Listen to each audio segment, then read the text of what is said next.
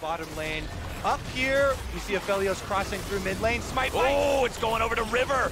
And now he's got level 6. Closer still only level 5. There's not that Viego ulti ready to go. They got Fake God here in the middle of 4. But is it enough? Yes, it is. Fake God's able to take down Abbedagga. Blue takes out Ssumday. Closer goes over the wall and Dignitas looks for a third kill. huhi is stuck, and he will not be able to escape. Drakes, 100 Thieves are definitely fighting an uphill battle here as Closer finds himself pulled in there by the death sentence. Sleep comes through on the Closer. He's ignited. He's ticking down. He's burning away. River goes back in under the rest of the team as the final ticketing ignite takes down the enemy jungler. FBI. And then Dignitas continues to push. I expect 100 Thieves might be trying to really defend here on this one, but River's already ready to go in. He starts off the fight, and Abbedagga's going to lose a lot of HP. Fake God's able to take Ssumday so low, it's going to be Closer dying first. Abbedagga tries to get himself out as Blue goes on a rampage, and... Neo.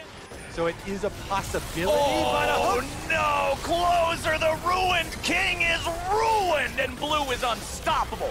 Dignitas managed to find a lot, and now Neo's gonna help him find a little bit more. Double kill over to Blue, and Hundred Thieves are heading for the hill. Ssumday tries to continue running all the way out, but Dignitas have done it! Ladies and gentlemen, where were you when Dignitas cut down the reigning champs in quarterfinals? And they did it! 2-0!